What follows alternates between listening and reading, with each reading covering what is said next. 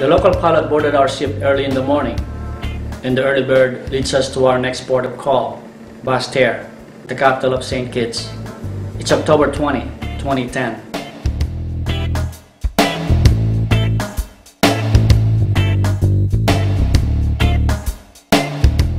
Originally named St. Christopher during the first permanent European settlement, the island's name was officially changed to St. Kitts in 1988.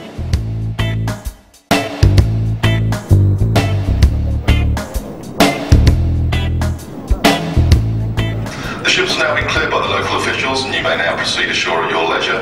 Before proceeding, all aboard for 4.30 this afternoon, please. And Grand Princess will then sail shortly afterwards for St Thomas. Ladies and gents, uh, whatever you've got planned for today, I wish you a great stay with us here at St Kitts.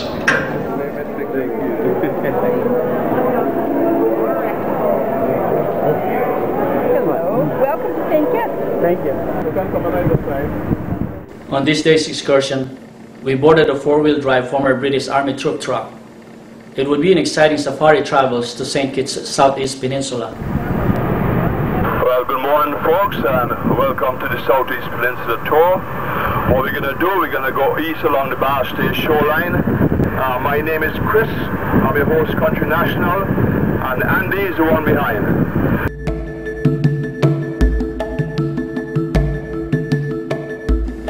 The truck was fully loaded. Where I seated wasn't the best place for me to comfortably take some pictures without getting in the way of others or intruding into one's space.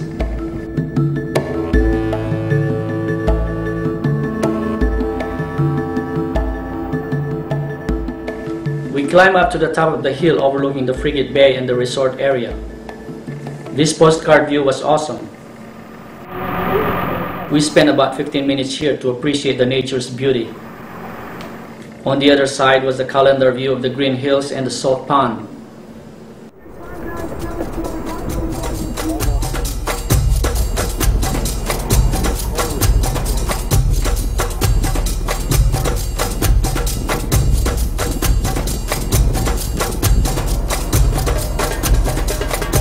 We then proceeded and continued our safari travels with a short stop, a brief photo ops of the ship, the Friars Bay, some excellent views of the rugged coastline, and the capital city Basseterre in the distance.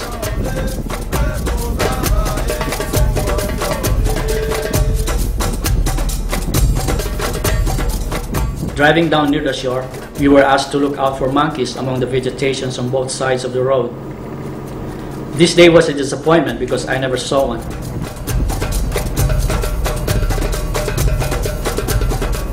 If you ever come to this island to stay for a while to do some snorkeling and stuff, this is one of the best places to go to go snorkeling. Mm. There's reefs and stuff down there, but there's also two military ships from the 1700s. One is a troop carrier that ran aground in a hurricane, and the other is a frigate that got damaged in a battle. There's been a lot of battles out here. During our next stops, our guide gave us some historical lessons of our surroundings and stories about the area of the past when it was inhabited. It was hard to remember it all because he talked fast and we wanted to be busy taking pictures. British archaeologists were here doing some study mapping and studying the ships and stuff, right? But people haven't discovered it before they, they came. And people started to take stuff off the ship. You know, started to take off and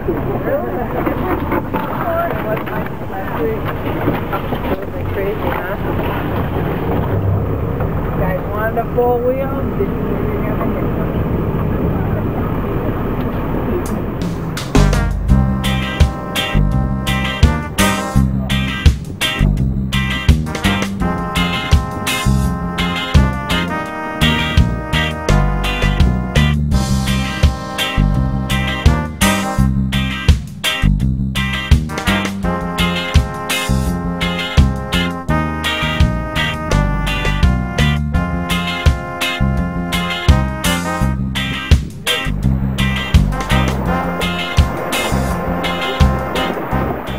Cockleshell Bay, we all got up for about an hour of beach time.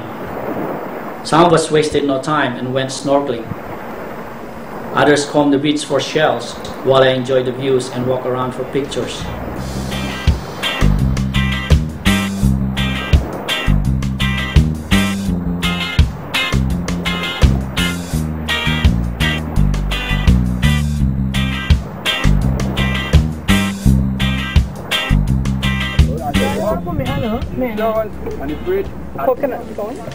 Our assistant guide, Andy, prepared the local island snacks, fruits in season, and fresh homemade juices. And they might have used one, and the Jeep Cherokee, and the Jeep you. Cherokee, welcome. $56,000 in juice. Enjoy. Thank you. You're most welcome. Would you like some banana?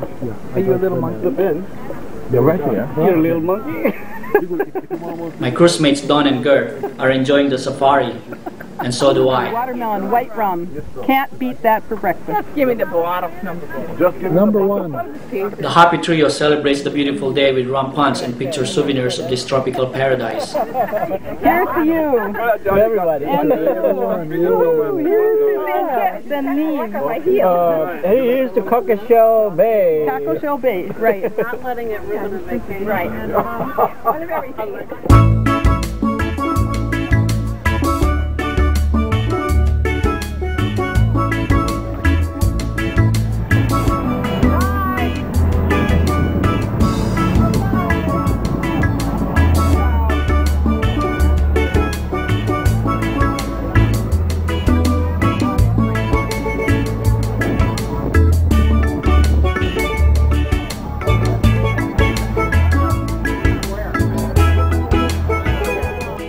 way back, Don swapped seat with me so I can take some pictures at a different angle. What I got mostly was plenty of beautiful rocks and a long shot of a monkey climbing over.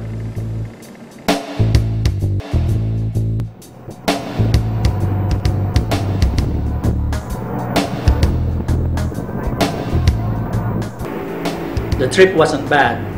We got to experience what it was like being a British Army troop crowded in a truck and heading for an encounter with the enemy. But instead of shooting with guns, we were shooting with digital cameras loaded with memory cards. Everybody seemed to be excited and happy to have been here, and saw for ourselves what an island this was.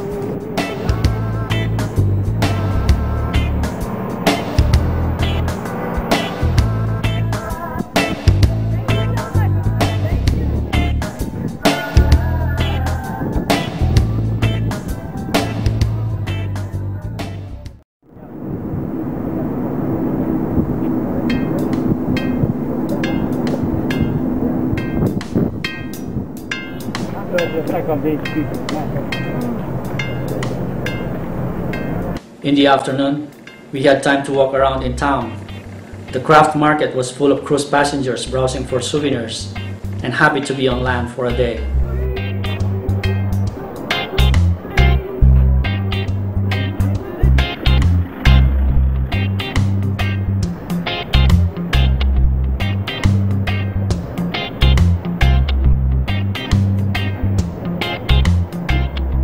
Don, Gert, and I walked downtown and came across the Independence Square. The square was empty and no one around except us. I was beginning to worry that our ship left without us. But we pressed on and visited the cathedral across the street. There's no one inside either. It felt like I was in a twilight zone.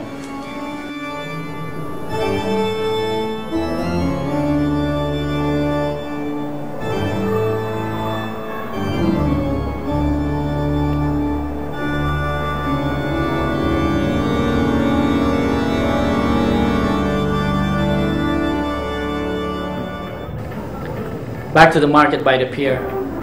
There were a few shoppers left, and soon we decided it was time for us to get back to the ship.